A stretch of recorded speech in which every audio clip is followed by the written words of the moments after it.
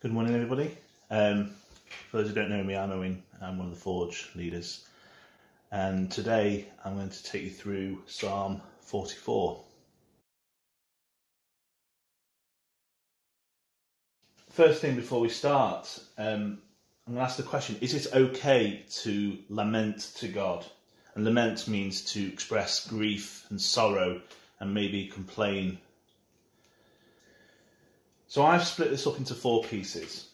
Um, I'll go into which one, which parts I've, I've, I've split it into in a minute. But for context, it is clear here that um, the psalmists are going they're going through um, a time of um, suffering, calamity, and it looks like their enemies have kind of thwarted them or destroyed them. Um, and this is a hymn um, a, a, lament to God. So, like I said before, a lament is an expression of grief. These people regard themselves as chosen ones of God, so God's chosen people, um, descendants of those who were taken out from slavery in Egypt and um, and defeated Jericho, um, and David who um, who destroyed who defeated the Philistines and so on. And God has been on their side all this time they've um, they've acknowledged that this is um, God's doing, not theirs. So I've split this into four parts. Um, the first part is verse one to eight, and, and I've called this um, a reminiscing part. Uh, part two is verse nine to sixteen, and I've called that rejection. Part three, verses seventeen to twenty-two, confusion and part 4, verses 23 to 26, is pleading. So, part 1,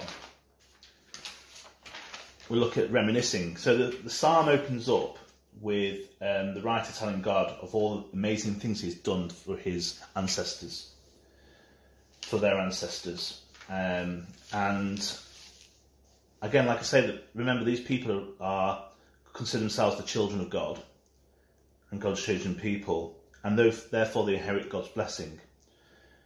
And um, reading the Old Testament, how God has delivered them from all their enemies. And these historical stories would have been passed down from father to son um, to the families and, um, and, and, and also from rabbi to um, their congregation. Um, which is where in verse 1 it says, O God, we have heard with our ears, our Father has told us. This means that you drove out all the Gentiles from the lands of Canaan, which is where they settled, and planted their, his chosen people there instead. It's clear that the psalmist knows that it's not by their hand that they are being uh, that they've won these battles, but it's by God. In verse three, for not by their sword did they win the land. In this stanza or part, the psalmist is basically saying, Look, I know how great you are because you have proven that time and time again throughout history. Um, they know full well who is responsible for their past victories. And then he says, verse 6 For not in my bow do I trust. So the psalmist affirms that he puts his trust in God. Now, part two is quite a strange one for me in terms of a, a worship song. Um, in this part, they are, seems to be complaining or lamenting, um, but I suppose they are just expressing their grief to God. And straight away in verse 9, he says, But you have rejected us and disgraced us, and have not gone with our, with our enemies, sorry, with our armies. But what really sticks out to me is verse 11 to 13. So the psalmist is not saying that he has, that God has sold uh, their, sold them to their enemies for a delicious jelly, custard, and cream laid dessert. Um, they see they they saying that they feel vulnerable and feel like they've been sold out, shall we say, cheaply. Um, they feel vulnerable, weak, and in need of protection. So they say, "You have made us like like sheep for slaughter." Verse eleven. But for me, what I find most applicable is verse 13. You have you made us the taunt of our neighbours. Have you ever felt like this as a Christian?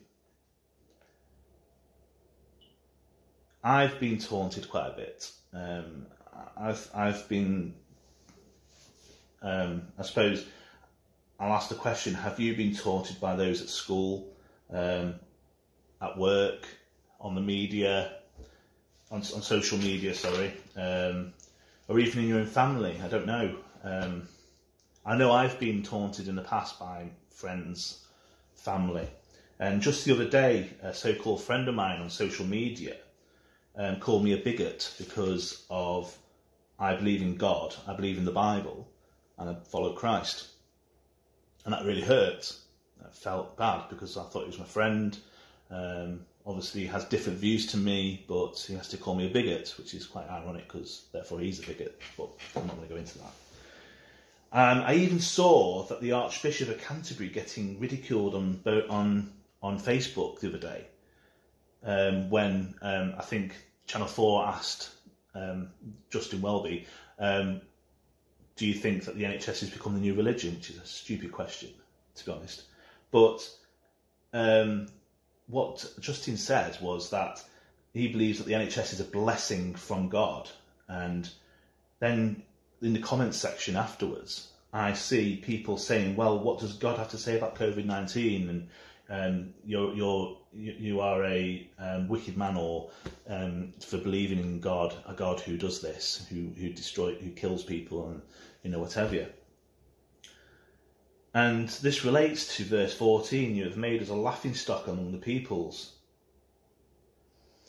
So, I mean, what I want to say though is that um, here, even the Archbishop is getting ridiculed, but more, more, more, uh, moreover, that we know that even Jesus was persecuted.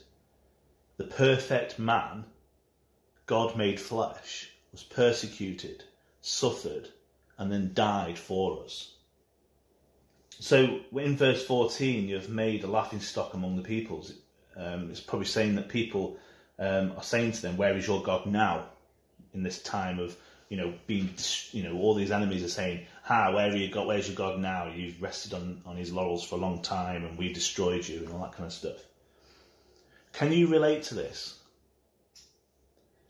I know I can. In part three, um, 17 to 22, confusion. I, I, call this part confusion because the psalmist um, doesn't really know what they have done to deserve what is happening to them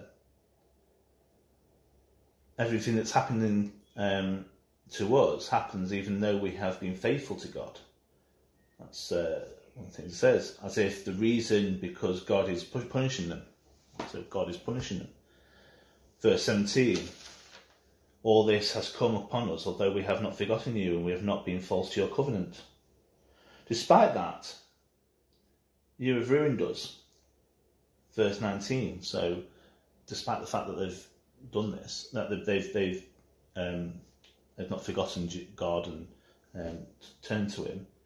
Um, he's ruined them somehow. And into um, part four, then we look at um, pleading. When I first read this passage, I thought, how dare they talk to God this way? We always get taught we need to talk, be reverent to God, we need to be respectful to God, we need to fear God. And um, but then when I read, reread it again and saw um, what it what it what, what's he saying, it resonated to me, especially this this part of the of the of the of the of the passage. I find it interesting that the psalmist thinks God is sleeping or has forgotten them. When verse 23 says, Awake, why are you sleeping, O Lord? Verse 24, Why do you forget our affliction and oppression? But what this last part is, is a bold plea to God to come into the situation now and sort it out. He's reaffirming that he's trust God, that he wants him to come in and sort it out. So that was a bit of a skim through this meaning. It's a big, big, big psalm. Um, I encourage you to go through it again yourself and pick out a few things see what they mean, and do a bit of research. Maybe post on the comments after this to say what you think has been said. I think all of us relate to this passage. I know I have pondered um, similar things. I've thought to God, why, why have you done this? Um, why do, do, do I deserve this? Why are bad things happening to me? Is it because He's punishing me, even when it seems like we have not done anything to deserve it? Have you sang a similar psalm to Psalm 44? Why me? We can know, not know why these things happen. We cannot hope to understand God other than what is revealed to us in the Bible, for us to get to know Him and have that relationship with Him. And Proverbs 3, verse 5 says, Trust in the Lord with all your heart and do not lean on your own understanding. In all your ways acknowledge him, and he will make straight your paths. So, one thing we can learn from the Psalms is that they didn't turn away from God. They didn't say, um, say right, all these bad things are happening to me, um, therefore I'm going to turn my back on God. Um, I don't believe in God, I'm not going to follow him, I'm, I'm ignoring him, do my own thing. No. Rather than turn away from God, they put the trust in Him even more. They plead for Him, they prayed to Him alone. So back at the start, I asked, is it okay to whinge or lament to God? And the psalmist teaches that it's okay to cry out to Him with our griefs and our sorrows because we are returning to God. We're putting all our worry and our anxiety to Him. And finally, I want to say that although we suffer here, even though we are Christians, and it will be ridiculed, called names, laughed at for feeling for believing in God, remember God knows how it feels to suffer. Jesus was despised, tortured, and died the most horrific death. So therefore God understands what suffering is like for us. So I hope this has been um, a good study, encouraging. Post on the um, comments below what you think um, to this passage. Um, if I've said something you think is wrong, let me rebuke me. I'm fine with that. I'm, I'm fine to be challenged. Um, I'm sorry this has been a really long video, but I think it's really poignant to concentrate on these things, um, especially this time. it's amazing that even though 3,000 years ago these psalms were written, they're still applicable today. Um, every single one of them that we've read so far as being applicable to today. So thanks very much. Have a fantastic day. I'm just going to finish with a prayer. Father God, we thank you for your word. We thank you that we can come to you with our prayers, our anxiety, our worries, um, our laments. And we thank you that you sort it all out for us and you've got the plan. We trust in you, Lord. Help us to trust in you and not lean on our own understanding. In Jesus' name we pray. Amen.